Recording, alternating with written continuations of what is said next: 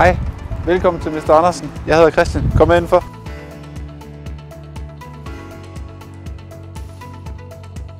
Her hos Mr. Andersen i Middelfart kan du indløse alt dit rensetøj. Det kan både være her dametøj, og det behøver heller ikke være købt her i butikken.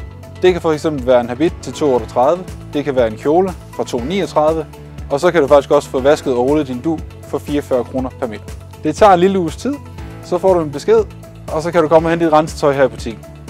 Hvis I har nogle spørgsmål, så kom ind forbi butikken, øh, så tager vi en snak om det. Vi er super nemme at finde. Vi ligger på krydset Adelgade og Østergade. I kommer bare ind i vores åbningstider, som er 10 til 17.30 mandag til torsdag, 10 til 18 fredag og 10 til 14 lørdag.